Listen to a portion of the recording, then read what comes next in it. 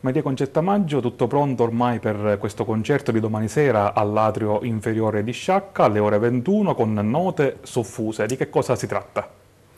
E allora, eh, intanto abbiamo scelto con, insieme al maestro Rodolfo Pagano, eh, pianista, compositore, arrangiatore di Porto Empedocle, abbiamo scelto alcuni dei brani,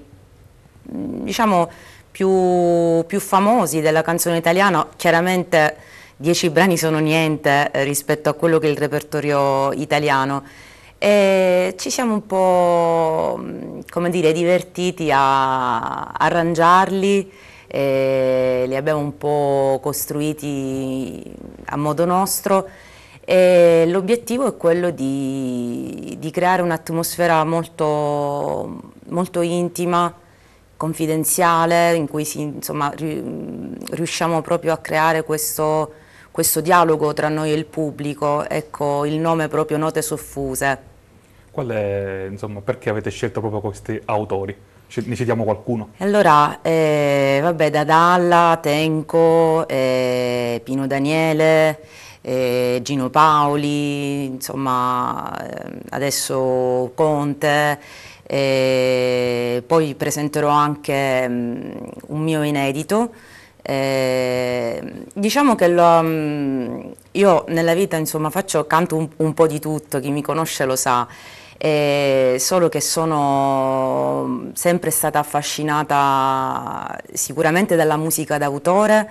tantissimo dalla, dalla, musica italiana e poi diciamo, il mio percorso di studi in, in canto jazz mi ha, eh, come dire, eh, mi ha arricchito di, mm, eh, ha fatto, dire, ehm, ha stimolato in me tantissima fantasia e quindi eh, adesso qualsiasi canzone ascolto o magari voglio interpretare, poi mi diverto sempre un po' a, a cambiarla, a cambiare le armonie, giocare un po' con, con la voce, quindi ehm,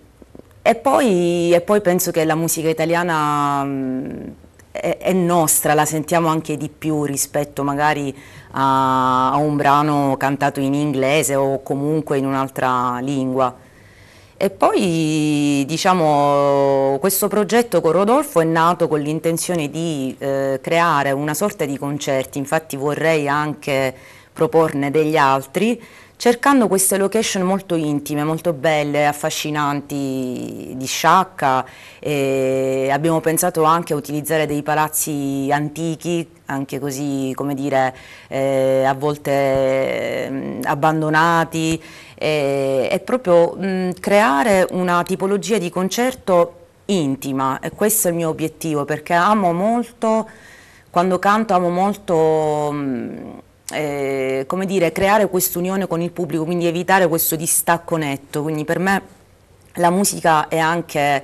eh, è un dialogo eh, che molto spesso viene, avviene anche con, eh, da parte del pubblico, cioè il, il, silenzio del pubblico può essere parte della musica. Quanto lavoro c'è dietro per preparare un concerto di questo tipo? Eh, vabbè, ehm, tanto perché va considerato sicuramente tutto l'aspetto della ricerca dei brani, lo studio poi che c'è anche dietro l'arrangiamento di un brano, incontrarsi con il musicista che non è dietro l'angolo, quindi eh, anche lì e poi ovviamente